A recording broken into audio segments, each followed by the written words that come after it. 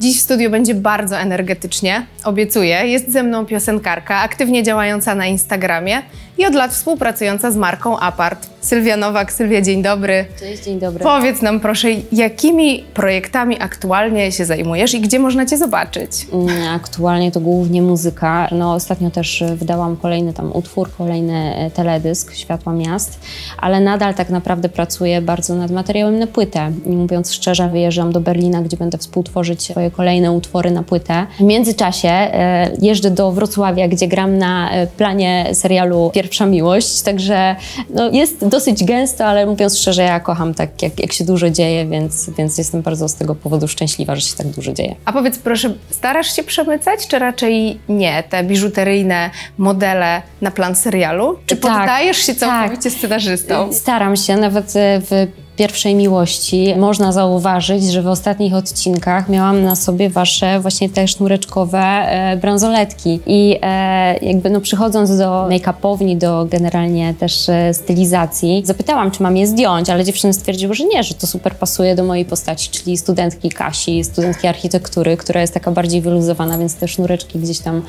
e, sznurkowe bransoletki idealnie pasują. I, i je przemyciłam. W swoim nowym singlu śpiewasz pełną paletą barw koloruje mój świat. Powiedz, jaki jest twój ulubiony kolor?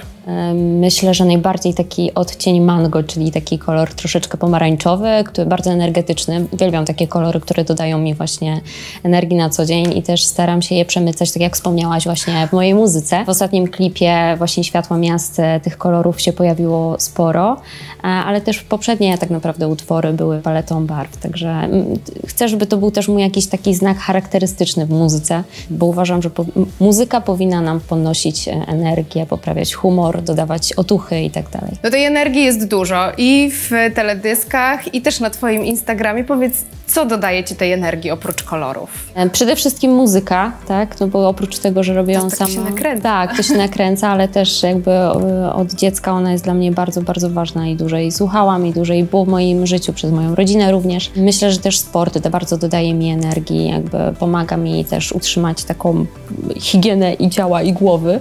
E, To jest bardzo ważne i no podnosi en- endorfiny, tak? Więc to też znowu energia. A łączysz sport z muzyką?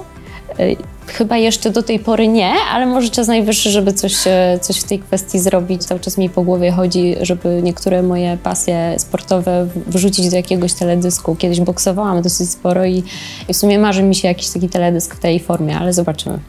Byłam też ciekawa od drugiej strony, czy uprawiając sport y, odpalasz coś w słuchawce? To, no to tak, to jest jakby chleb powszedni mojego, nie wiem, biegania, sportu, jak bez, bez, bez muzyki w uszach, czy tam gdzieś, nie wiem, na głośniku, jeśli sobie trenuję w domu.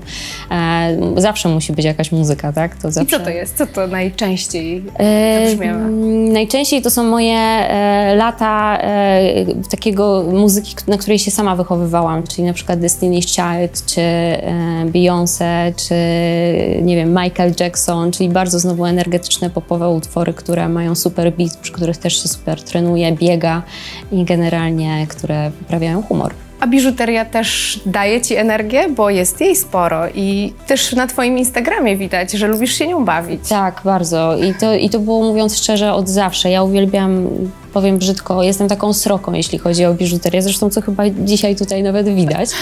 E, I uwielbiam, uwielbiam właśnie też z tych lat Destiny's Child, Wielkie Koła, czy nie wiem, Jennifer Lopez na sw- swoich początkowych e, gdzieś tam teledyskach, utworach, która też jakby uwielbiam ją i, i na niej się wychowywałam.